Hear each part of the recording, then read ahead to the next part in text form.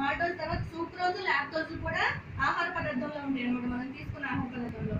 ఈ సూక్రోజ్ దీన్నే మనం టేబుల్ షుగర్ అంటాము. మనం తినే షుగర్ అనేది ఈ సూక్రోజ్ అన్నమాట. ఈ సూక్రోజ్ని సూక్రేజ్ అనే ఎంజైమ్ ఆంధ్రరసంలో ఉన్నటువంటి సూక్రేజ్ అనే ఎంజైమ్ దీన్ని ఇన్వర్టేజ్ అని కూడా అంటారు. సూక్రేజ్ అనే ఎంజైమ్ గ్లూకోజ్ మరియు ఫ్రెక్టోజ్గా మారుస్తుంది. ఇవి రెండు మోనోసాకరైడ్స్ గ్లూకోజ్ మరియు ఫ్రెక్టోజ్గా మార్చడం జరుగుతుంది. అదేవిధంగా మనం తీసుకునే పాలలో పాలలో వచ్చేసి లాక్టోజ్ అనే చక్కెర ఉంటుంది అనమాట మిల్క్ షుగర్ అంటారు. లాక్టోజ్ అనే చక్కెర ఉంటుంది. ఈ లాక్టోజ్ని లాక్టేజ్ అనే ఎంజేము లాక్టేజ్ అనే ఎంజేము అంతరరసంలో ఉంటుంది. ఇది కూడా లాక్టేజ్ అనే ఎంజేము గ్లూకోజ్ మరియు గ్యాలక్టోజ్గా మార్చడం జరుగుతుంది.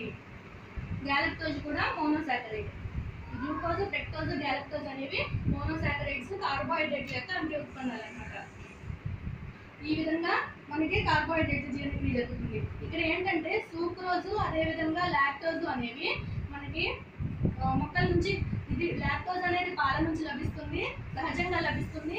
అదేవిధంగా సూక్రోజ్ అనేది మనకి మొక్కల నుంచి షుగర్ కేన్స్ ఉంటాయి కదా వాటి నుంచి లభిస్తుంది. కానీ మాల్టోజ్ అనేది మాత్రం మనకి ఈ మాల్టోజ్ అనే డైసాటరేట్ మాత్రం మనకి బయట లభించదు. ఆహారంతో పాటు లభించదు అనమాట కాకపోతే ఈ పిండి పదార్థాలు అనేవి పాలీసాకరైడ్స్ ఉన్నాయి కదా ఈ పాలీసాకరైడ్స్ అనేవి వేరే ఎంజైమ్ల చేత జీ- జీర్ణం చేయబడడం పడడం వలన ఈ మాల్టోజ్ అనే చక్కెర ఏర్పడడం జరుగుతుంది. ఇది మనకి ప్రకృతిలో సహజంగా లభించదు.